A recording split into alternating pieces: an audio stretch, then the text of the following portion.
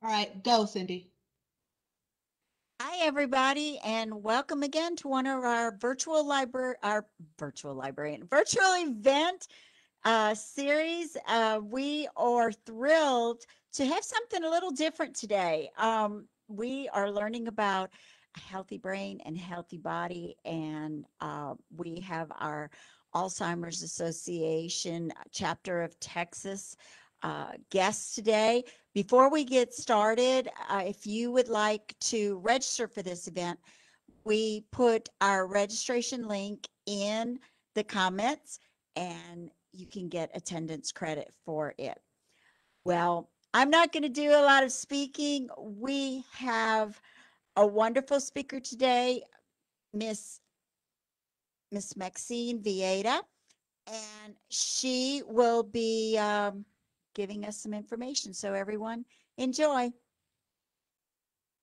Hi, everyone. Maxine Vieyra. I am the program director for the uh, Alzheimer's Association Capital of Texas chapter. If you want to reach out to your local chapter, we have six in Texas alone, and you can always call helpline, which is available as well 24 7 for you to have that information um, um, that is closest to you, right? Today's presentation is the healthy living for your brain and body. The more we get research surrounding Alzheimer's disease and what role does nutrition and exercise plays in our brains and bodies as we age, the more information we have whether our habits right now make a difference in how we further develop um, either whether we will have a cognitive decline earlier in life, later in life, and what that looks like. So I'll touch upon that very briefly in today's presentation. Thanks for joining us today. With much, with that much, we'll go ahead and start the presentation, right, Cindy?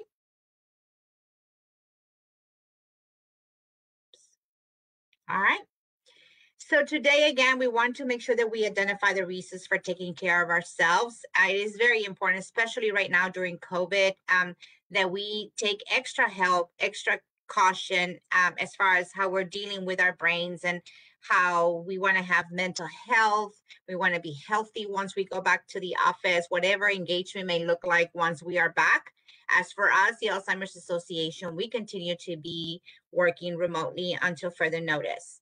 Uh, we do miss interaction with um, our our families and the people who have been diagnosed with Alzheimer's disease. But until that happens, this is what we're doing today you know, we, through this presentation, we will list the strategies to age well in the fo following areas, physical health and exercise, diet and nutrition, cognitive activity, and social engagement. Oh, Ms. And if you have any questions as we go through this presentation, please add them in the chat and we will be more than glad to address these questions. Yes, ma'am. Okay, I just wanted to make sure to share your screen first. I didn't know if you started your presentation yet. Oh, my apologies. It's okay. It's okay. I thought I was sharing. Maybe I wasn't sharing. I will get that going. Can you see me? Yes, right? Yes, we see you. Perfect. All right. Let me go There ahead and start my presentation. Can you see that? Yes, ma'am. Perfect. Can you see that as well? Yes? Perfect. My apologies little glitch. It happens all the time. Aging and health. Aging will depend on, on our genes, our environment and lifestyle. How many of us are really well, aging really well? Like if you're in your 50s and somebody asks, well, how old are you? And you don't even show the ages of, you know, the signs of aging, that you look very young. So, I mean, those are good genes to have, right? That we're not aging as fast as, as we normally would or in how it had happened in, in years past. We're taking better care of ourselves. Our environment does play a huge part as far as how we would definitely um, age in the past as well, or how we age and so on. And also your lifestyle choi choices. I know that their most recent research was released uh, last July in 2020 that what we eat and how we keep and maintain in our younger eight years does affect how we age and how we have cognitive decline. So if that's true, start thinking about what are we eating today? I love sweet bread. That is my weakness. I will never give it up as much as i've tried. It just doesn't happen right? But i also know that i have a family with a history of cognitive uh, i mean a cognitive impairment because my mother had alzheimer's disease. She also it was the result of a vascular dementia so all of those things come into play so i have to be that much more aware of the things that i eat as well as how often do i exercise i'm not saying that i do it and that I'm good at it, but I do have to be fully aware of what those choices are for myself so that I can also age healthy and hopefully postpone any cognitive decline um, to later in life. Can you still see that that slide, Cindy? Yes. Okay. So how the brain works. The best way that I can explain it in um, in our terms and that we can fully understand. So imagine our brains being a distribution center in a distribution center, you have multiple trucks coming in and leaving with goods and, and leaving and coming and delivering and so on. When there is a breakdown in that system, it backs everything up. So essentially, it's the same thing that happens in our brains. We have a distribution center in our brains that is fed and also feeds out information. So once there is a breakdown in our neurons and how the, the multiple cells connect in our brains, when there's a breakdown in that, there is a delay in responses. There's a delay in how we communicate. In many cases, individuals who already have a diagnosis of Alzheimer's disease can have a coherent moment and have and give the false hope to their families that they're going to be doing really well, right? Because they're having a good conversation with them.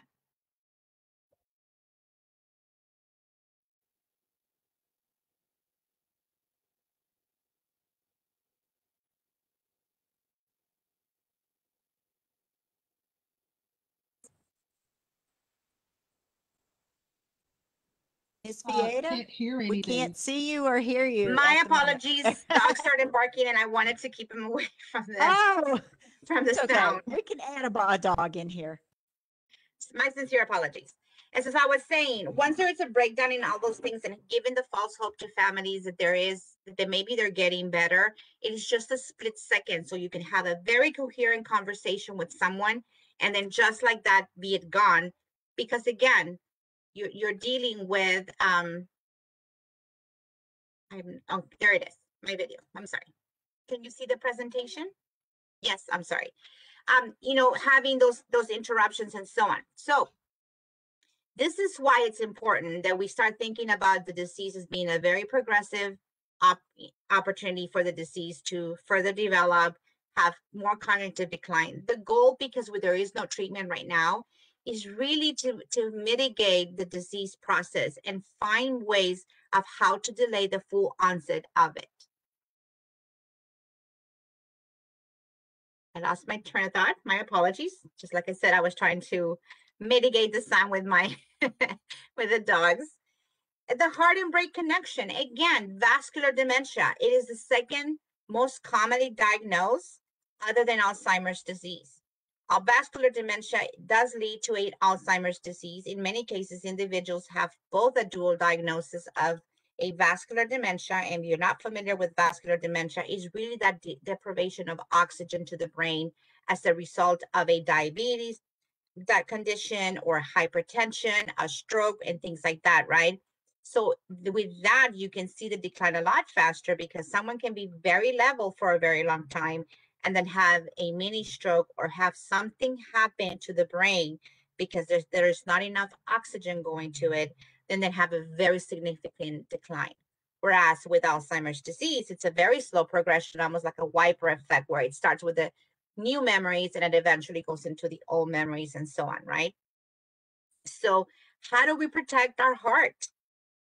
Again, it goes back to healthy eating, exercise, and so on.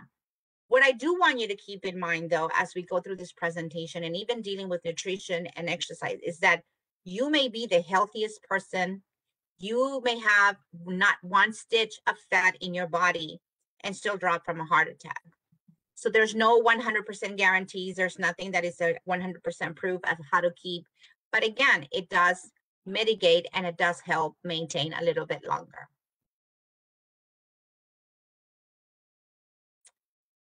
I kind of went over what dementia and Alzheimer's is, right? So dementia, think of the dementia as the world term or of the word term cancer. Under cancer, you have different diagnoses, right? And somebody wants to know what form of of cancer they have, whether it's lung cancer, breast cancer, and so on. So when someone gets diagnosed with dementia, you want to know what form of dementia is it. And based on the pathology, behaviors, and everything that the doctors take into consideration, family history, your own medical history, and so on, the doctor can arrive at the proper diagnosis. As I mentioned just, just before, is Alzheimer's is the most commonly diagnosed. We're at 70% and more followed by a vascular dementia as a result of diabetes, hypertension, strokes.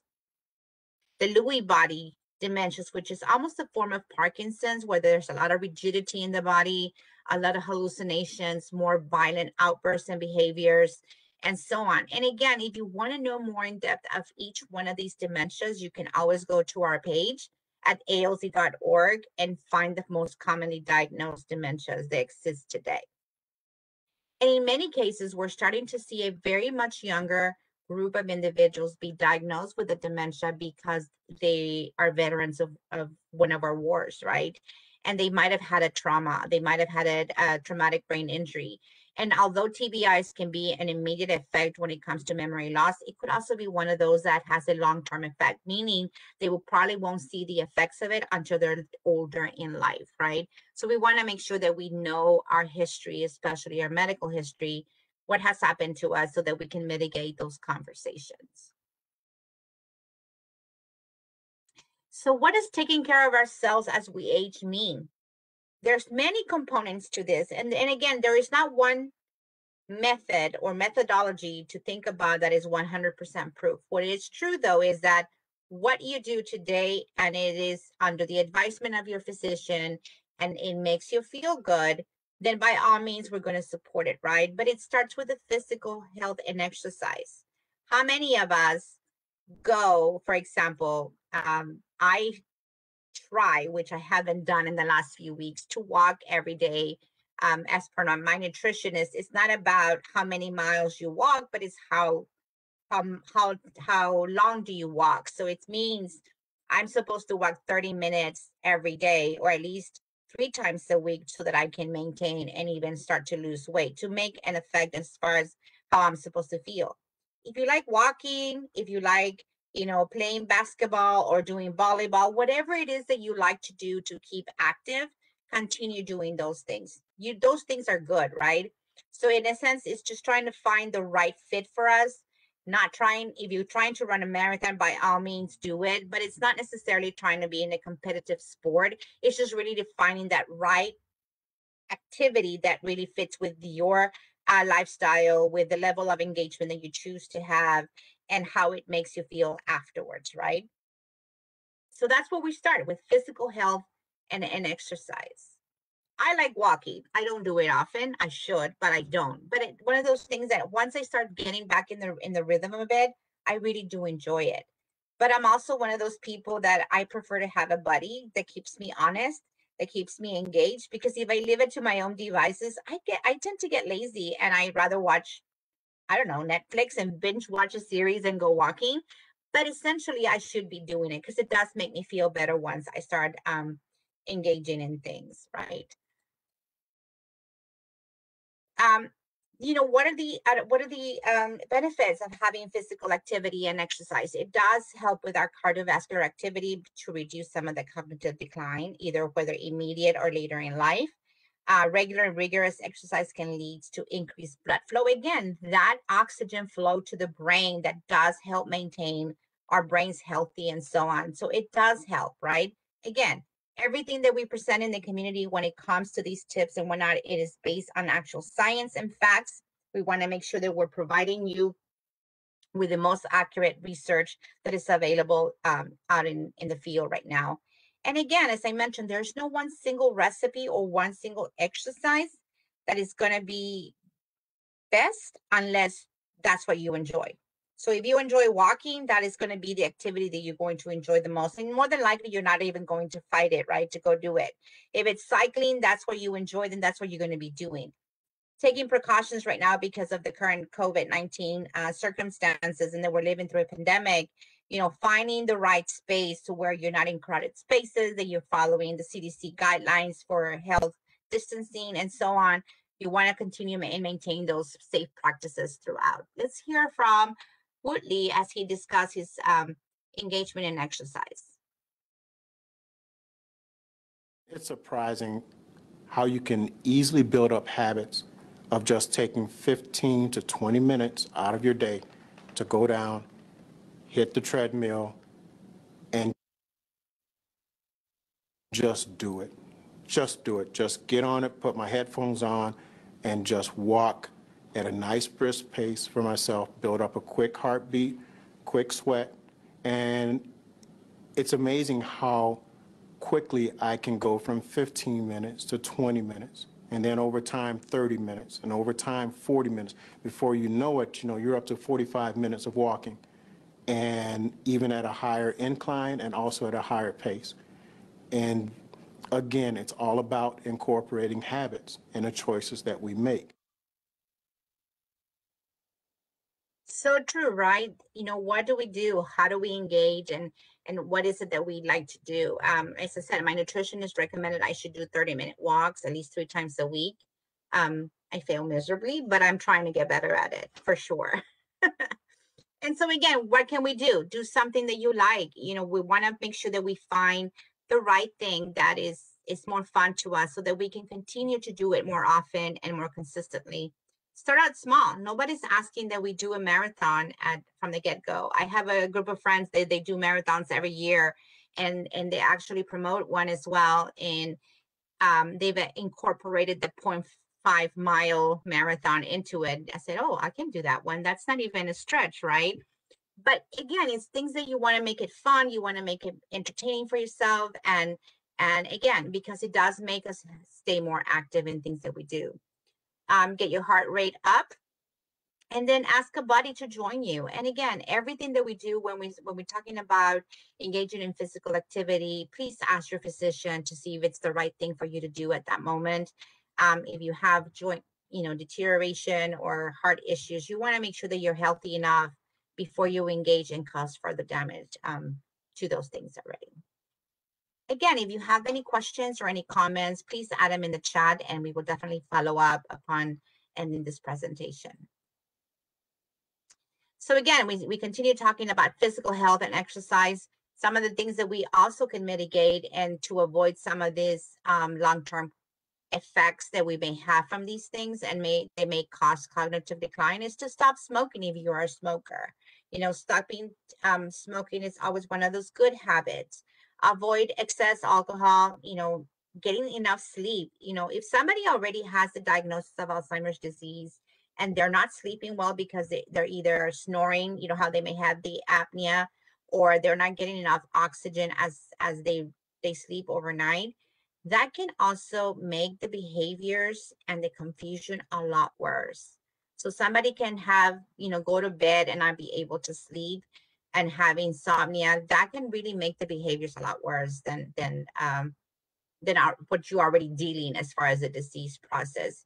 Avoiding any head injury that you also, you know, practice safe um, mitigation practices when you're doing your cycling or when you're doing boxing, whatever it is that you choose, that you also practice those safety um, regulations. And treat depression. Often, often we see in our senior population a lot of depression because they isolate, especially right now in seeing COVID-19 and CDC guidelines, because we're not engaging with the community as as we have in the past, or we don't have the same outlets for distraction or even to engage in, in, in meaningful activities.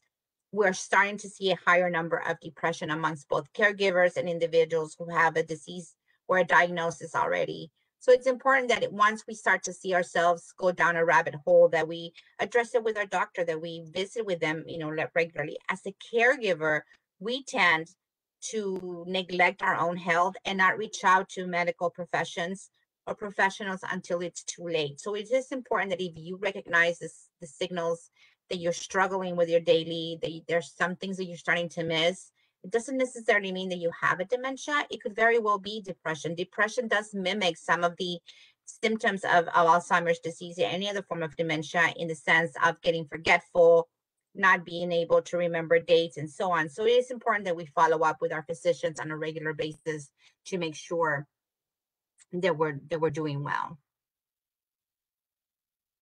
And so what can we do? Again, make sure that we're following our, our diet and nutrition to address blood pressure, to make sure that we are maintaining healthy, uh, to do the blood sugar levels that we're maintaining as well, weight and cholesterol. And I know that this may be one of those conversations that happens quite often and a lot of times, but those are the realities, right? Those are the things that start to happen when we're dealing with the vascular dementias, especially in our elderly population, and also, you know, when they're dealing to leading to a to an Alzheimer's associate uh, Alzheimer's an Alzheimer's diagnosis is that we're dealing with these factors that are like that are keeping the right amount of oxygen to go our, to our brains and thus creating more mental confusion.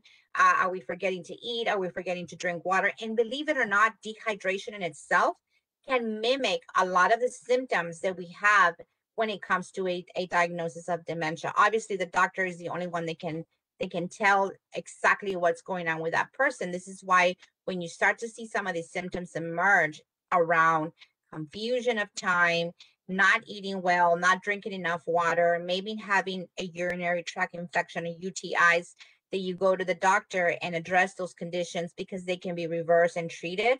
Whereas if it is indeed a diagnosis of a of a, any form of dementia, at least you know by that point, and we can mitigate and start having these conversations with other resources that are available to you in the community. So let's talk about diet and nutrition. What comes to mind when you hear diet and nutrition? I mean, to me, is like, okay, I have to cut out my sweets, my sodas, my ice cream. And those are just like my my comfort foods, right? So is it an emotional eating that I'm having, or is it really my I don't know, my go-to foods at the end of the day as a reward for having been at work all day and having all these things? You know, whatever food may represent to each one of us, these are the things that we want to start looking at um, as we start to to talk about nutrition. You know, and it does affect um, the heart. You know, the way that we eat does affect our heart, our our blood glucose, and things like that, right? Um, the more nutritious food that we have, the better fuel for our brains. I can use myself as an example. Um, I found myself in a situation where I thought I was drinking enough water, which I wasn't apparently. And I thought I was eating well enough, but I was under eating. And before I knew it, I started having these headaches and and confusion and and like a brain fog of sorts. And I wasn't I couldn't quite figure it out what that was coming from because I thought I was doing the right things. Come to find out that I wasn't. I was under eating and I was under drinking water and I had a severe dehydration that I had to deal with. And so I had to have the proper hydration treatments in order for me to be stabilized because I was, you know, everything was just out of whack. So it is important that as we get older, we recognize that we have to start, you know, thinking and making sure that we drink enough water throughout the day, that we make sure that we listen to the new signals that are changing in our bodies because maybe we don't get the same triggers for hunger as we used to when we were younger, right? But think about it, those triggers come about as well because we're engaged and we're doing more activities. The older we get, we tend to be less active and less engaged. And so thus it, it just gets really confusing when it comes down to it. And what we do know about diet these days is that some of these dietary guidelines, for example, the most commonly talked about is the Mediterranean diet, does help reduce some of the inflammation and some of the um, conditions, the effectiveness that it that it has on a person um, that has either heart disease, cancer, you know, the Parkinson's and Alzheimer's. So again, things that we can discuss with our doctors to make sure that we're following the right, you know, nutritious path, that we're having plenty of water, and what is the best for ourselves, right? We want to make sure that we have those common cores. And I'm going to play another video from one of our directors of nutrition and see what she has to say as well. Foods that have been shown to um, lead to healthy aging would be uh, fruits and vegetables, and in particular, green leafy vegetables and berries.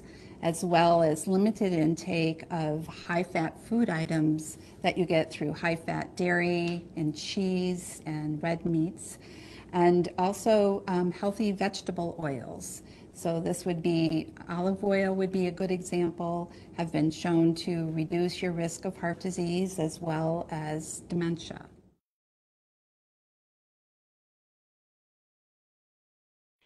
How many of you find yourselves actually missing your fruits when you don't have them?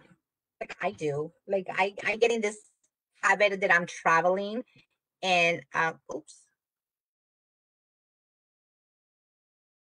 Did I just stop sharing un- accidentally? My there you go. Can you see it now? Cindy, can you see the screen? Yes, okay. Um, I was saying that, you know, how we find ourselves sometimes eating different foods, like especially when we travel, we we tend to go for the things that are easy for us to snack on, right? But eventually you start missing your fruits. Like it happens to me quite often when as soon as I get home, it's like, I want a banana, I want an apple, and things like that, right? And it feels so much better for me to have those things. Not necessarily saying that I feel that much more guilty for having had my snacks, but nonetheless, you know, it does feel better. And so the recommendation from our nutritionist is that, you know, we we want to eat more vegetables, we want to incorporate more fruits, nuts, and so on, and and healthy vegetable oils into our daily consumption of food. You know, obviously the always having the um the items that we can avoid, for example, saturated trans fats, you know, processed foods, solid fat, sugar, and salt, and um, anything that's that's fried or anything that that is deemed as as an unhealthy fast food, right? We want to make sure that we limit that consumption or that we limit how often we had it have it. Um, so again, if you want to have your cheat days, really, that is up to you. If you want to have a very strict dietary um, day of how what you want to eat, really up to you. But again, make sure that your doctor's aware of the diets that you're that you're trying, the foods that you're trying to eat. Um, because believe it or not, some of these foods may interact with medication that you're taking already or supplements that you may start taking over the counter may very much interact with medications that you take. And in many cases, if the person already has the dementia, make the behaviors a lot worse and the way they carry their days a lot worse. And so we want again want to mitigate conversations, we want to mitigate behaviors, making sure that we maintain and so on.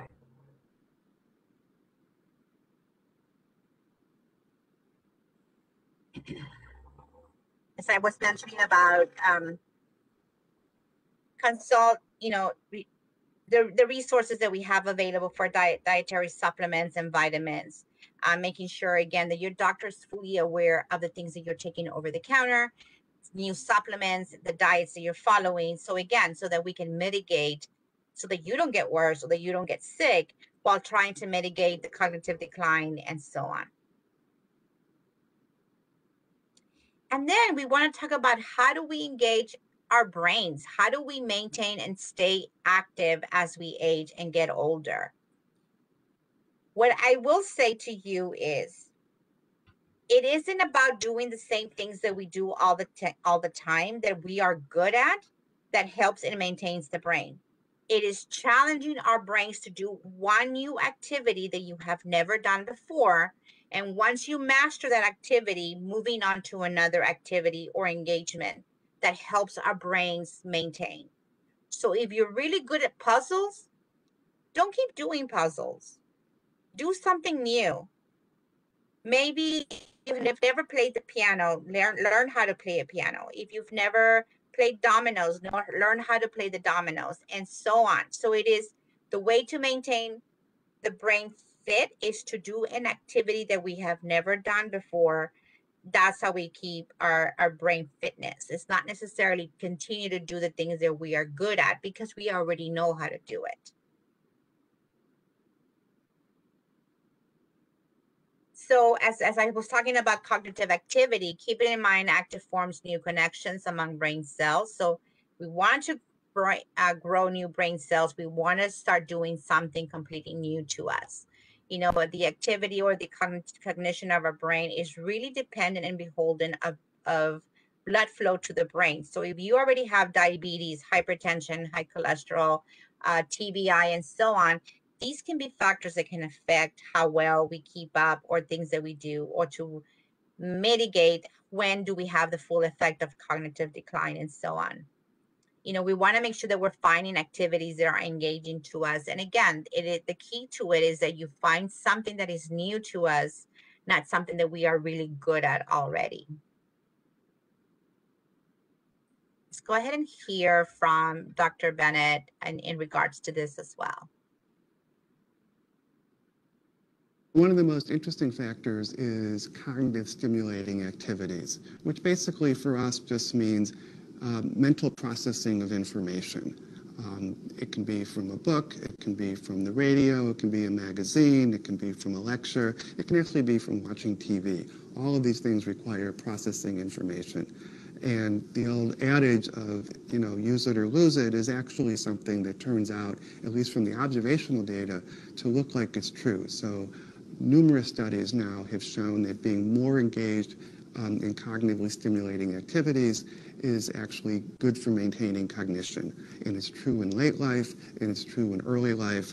And so what we recommend is that you start early, and if you're already late, start now.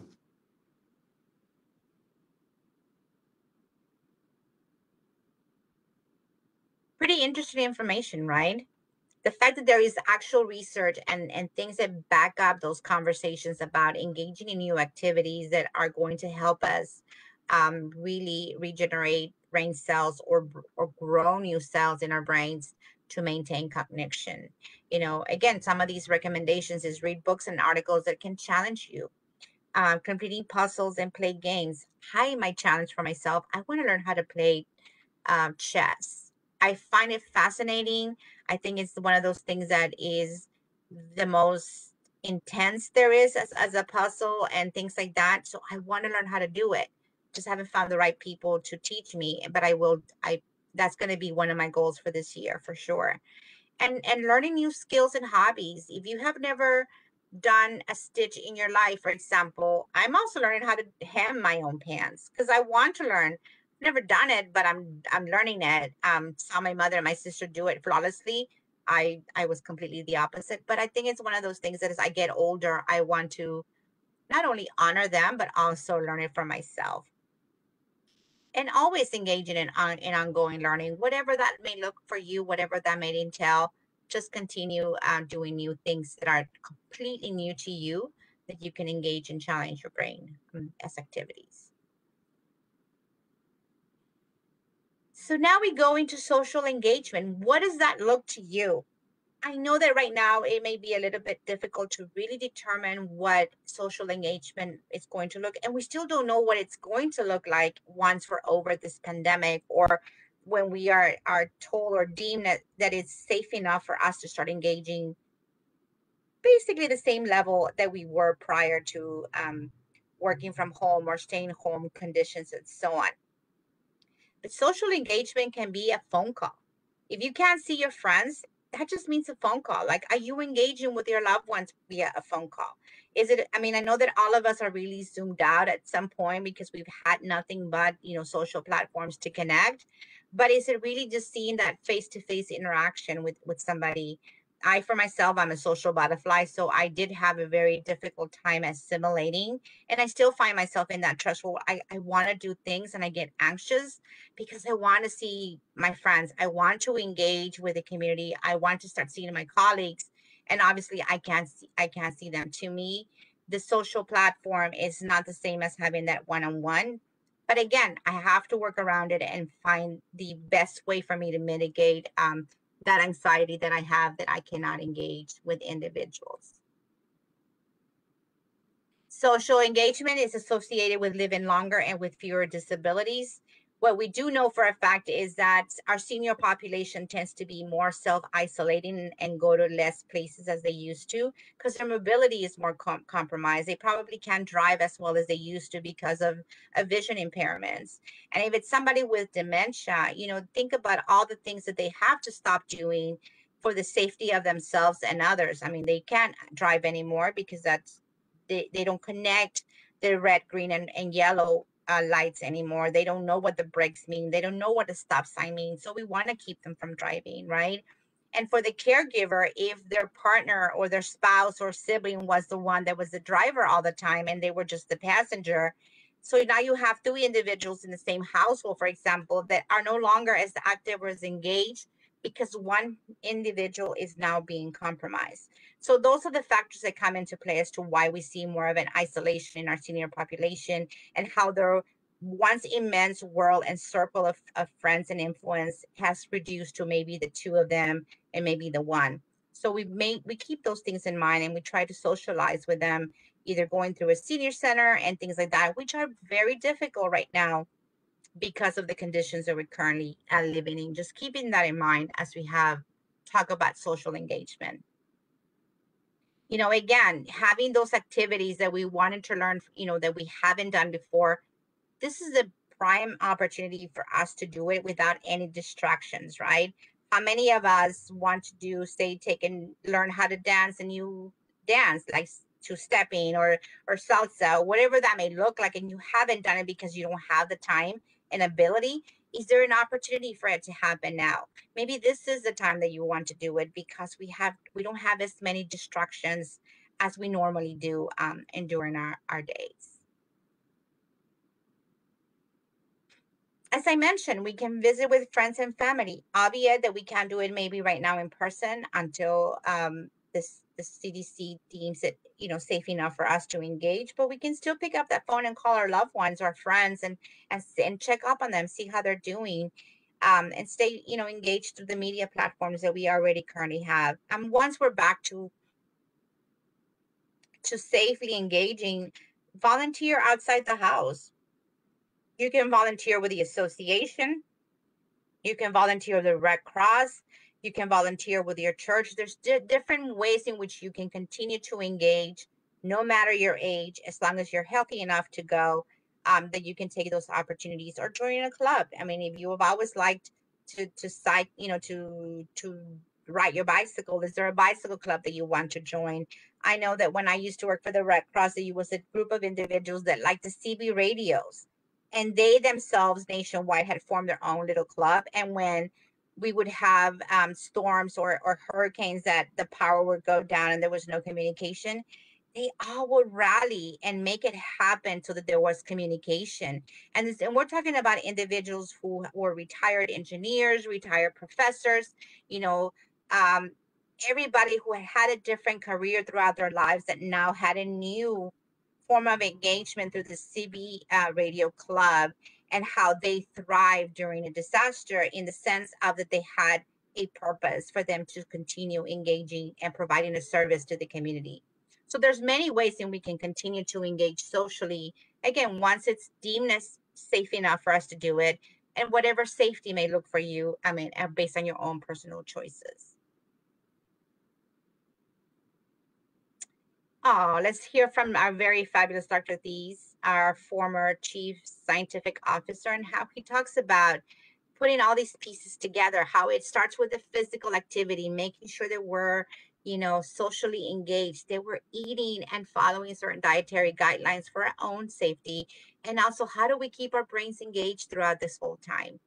And let me tell you, the better we are getting at diagnosis Alzheimer's disease and any other form of dementia, we are identifying individuals uh, much sooner in that disease process than ever before. So whereas somebody who, who was in their 30s was getting misdiagnosed for other conditions and not officially diagnosed until they were 50 or 60, are now being identified earlier in the disease process. If they're 50, we're not waiting five or six years for things to come into play to say, okay, you have a diagnosis of Alzheimer's. We can actually diagnose them earlier in the disease process.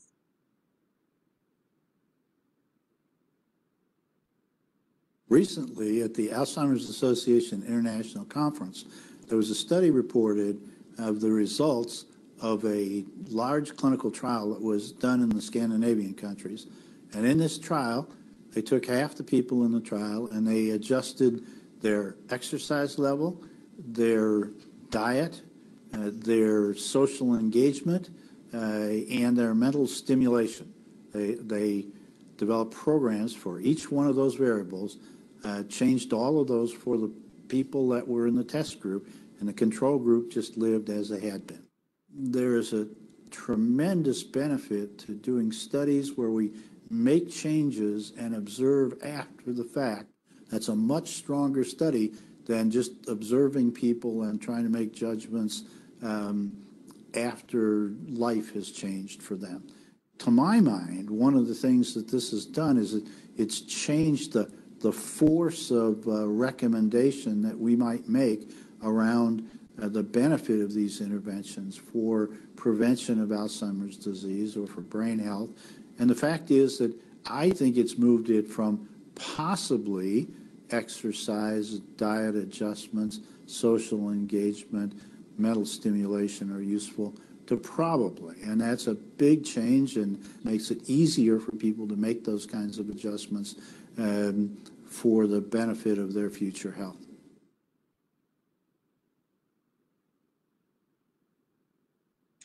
Every year, the Alzheimer's Association uh, convenes researchers worldwide to come um, and speak and present on the most latest research. And the thing that we have heard consistently for the last uh, couple of years is talk about talks about nutrition and exercise and what that role plays as we get older. So the choices that we make today really may affect in the long term um, as far as cognitive cognition and and um, and getting a diagnosis for dementia and so on. So what can you do today? What can we do right now for ourselves? You know what? Um, just having a starting point. Um, if you have been delaying really going on riding your bicycle or just having that first walk even if it's only 15 minutes around the around your neighborhood and if it's safe enough for you and others that you can continue to do that as well you know start small. Again no one is expecting us to run a marathon at this point. We just want to make sure that we are engaging and doing something that is going to help us in the long run. And and making a plan and having the healthy choices for ourselves and always getting the support from others. The one thing that i would recommend is that you please contact um, your physician before you start any exercise or diet so that they, you're okay and it doesn't affect you um, in the immediate or long term thereafter we are the best advocates for our own health. We want to make sure that we are also the very savvy consumer. That if you find a drug that is telling you that with this drug you can reverse the, effects of Alzheimer's disease, I can tell you from the standpoint of the association, there isn't enough research right as of right now to really claim any medication or say that any medication is an effective treatment for reversing the Alzheimer's disease we know that there's there's medications and treatments available that can delay the full onset of the disease or delay some of it, but not really reverse any effects. Um, and again, they're designed for the early to moderate stages of the disease process. Once you are already further along in the disease, there's nothing you can take at that point that is really going to help with the disease process other than just help you mitigate behaviors, um, anxieties, and so on make sure that um, if you always have a question in regards to medication, supplements over the counter, uh, vitamins, and things like that, that you always consult your health care professional so that they can give you the best um, response in accordance to your own health and, and benefit to you at that point. And should you find yourself in the need or because you have a diagnosis or you are yourself a caregiver, that you please don't hesitate to contact us. We have a fabulous 800 number that is available to you 24 7. Um, it is managed in several languages it, and also managed by professional licensed counselors. And the services are free. You can call any time of the day. If it's two in the morning and you're having some some concerns because you're becoming more forgetful than none, that you also want to talk to them. And again, if, if that is what is starting to happen and it's and the changes are so significant that they are interfering with your daily life, please talk to your doctor. Want to make sure that it's something that it could easily be corrected, such as a vitamin deficiency, dehydration, and so on. But if it is official and it's a diagnosis, that at least you know um, what's changing with you. We have several pat- platforms online that are similar to that, like the Facebook or or things like that, like the Alzheimer's Navigator, um, that are usually there for you to connect with other individuals that are caregivers or individuals with dementia that you can communicate with them. It is completely private. We don't have access to it, so it's only the people that you allow in in that in that nucleus. The community resource finder was designed in partnership with the um, AARP to give you access to the resources that are, available closest to you based on your zip code. If you're the caretaker, whether you're long distance or in the same community, and you live, say, in New York and your parents live in Texas, just put in their zip code. It would give you access to the resources that are local to them. And everything that we do right now is available online, but you can always benefit from these talks. For example, we, we appreciate the, the platform for us to present this information, as well as our, our own our virtual platforms. You can go to alz.org or call the helpline and they can give you the most um, the newest dates that are coming um, your way. You can get involved by um, either signing up for a trial match. There's so many, there's so much research, not just based on medication or clinical trials, but there are also social engagement. There's nutrition-based um, social research that is happening.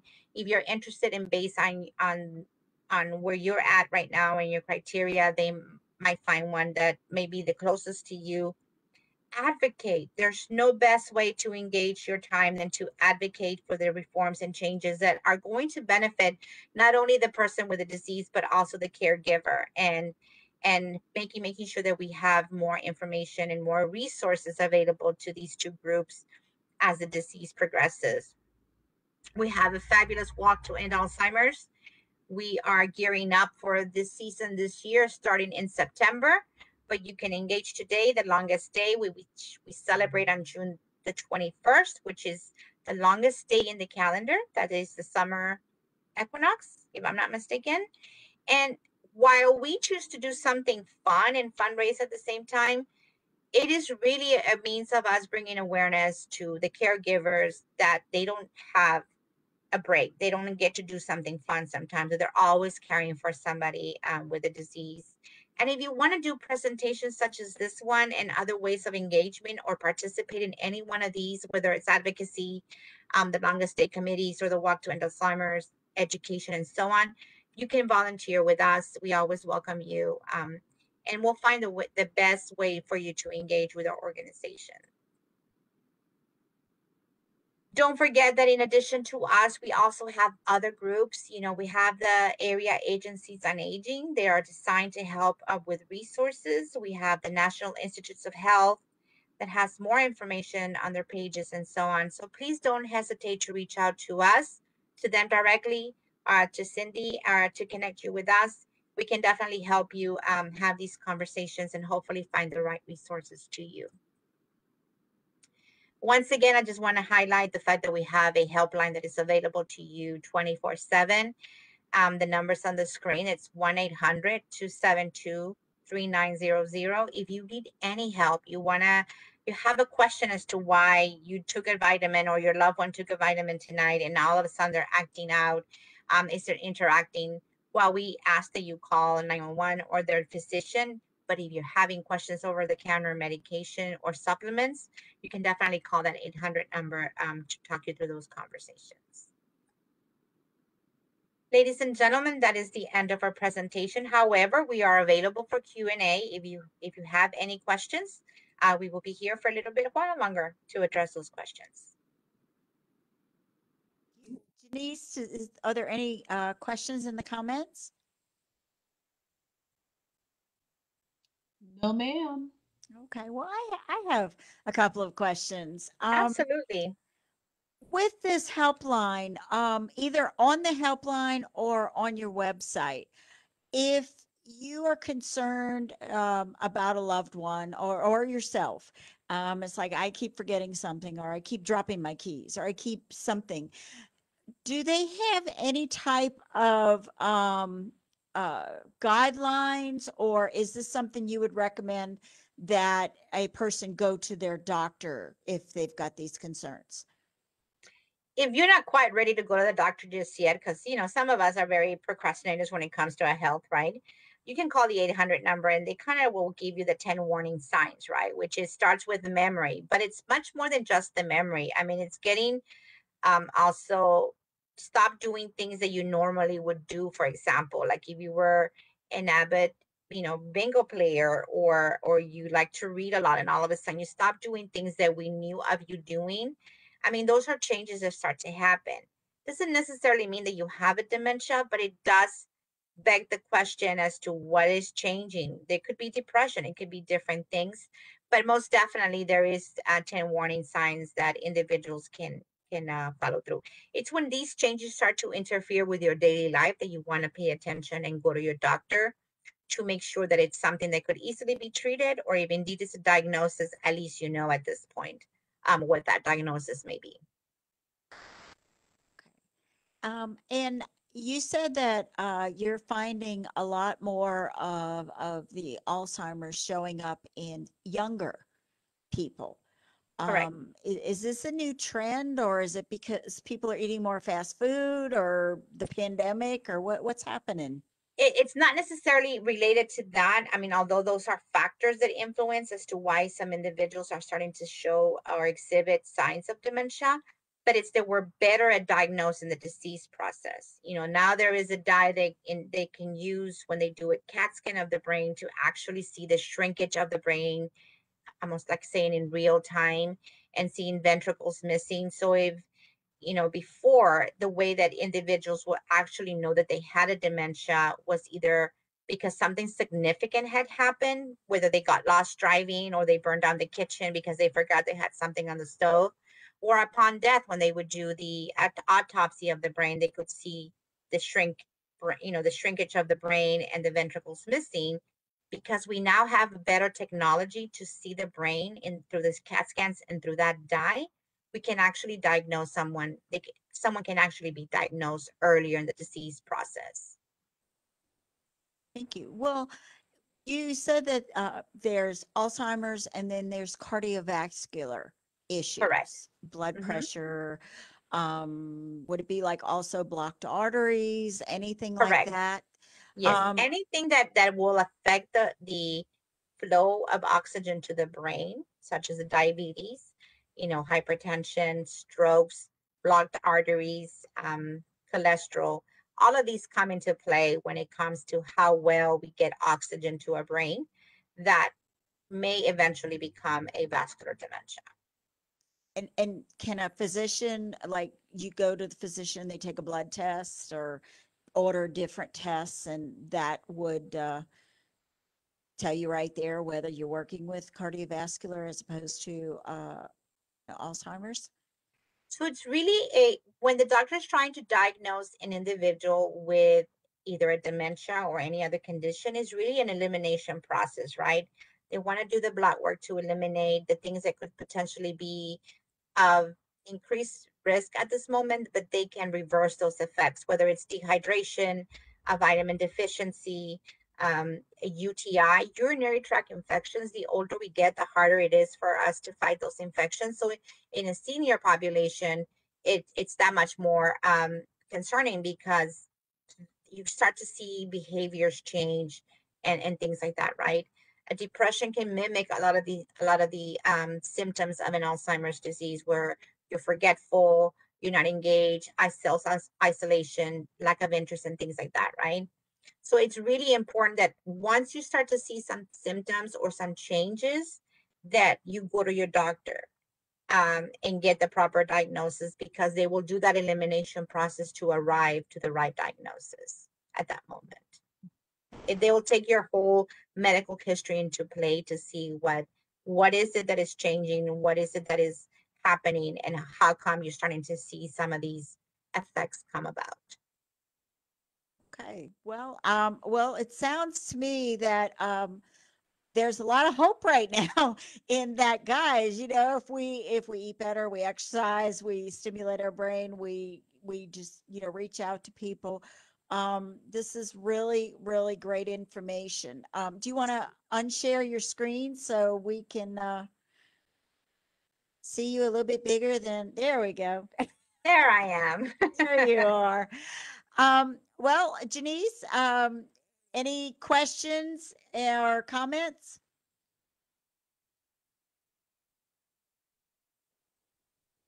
No, ma'am. that right now. Okay. Well, um, if you, we, you have the, uh, contact information, uh, for Ms. Vieyra at the, um, Alzheimer's Association chapter of Texas. And, um, we have gotten some amazing information today from you. We, we thank you for taking some time out of your busy schedule to Of share course. this with us. You guys are awesome partners. And I know in the past, the library has shared on social media some upcoming workshops. So continue to send us those workshops and we will post it in our social media so that everybody can, you know, keep up with what's going on. And, um, you know, hopefully we can, we could one day have it where there's not as many people suffering with this. So, That is our goal to have a survivor of Alzheimer's disease. So continue supporting the association, however it is that you choose to. And, um, and if it is your, your journey, that we're here to support you however we can. great.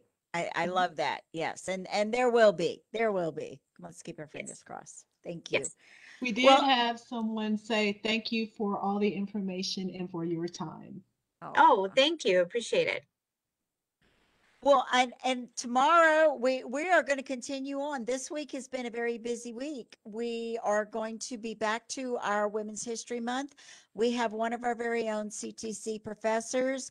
Um, we have Dr. Leanne Temple from Fort Hood, and she's going to be talking about women in leadership and women in education and women in a lot of different things. She is our mm-hmm. our go-to on women's history. And so she will be here tomorrow at noon. If you need to have attendance credit, make sure that you register for that. Thank you again. Thank you again, uh, Ms. Vieyra. We truly appreciate um, your time and your information today. And we will be taking us out. So bye, everybody. You guys have a great day. Bye, day. everyone. Go Thank for a you. walk. It's beautiful weather today. Go for a walk. Absolutely. Bye. Bye.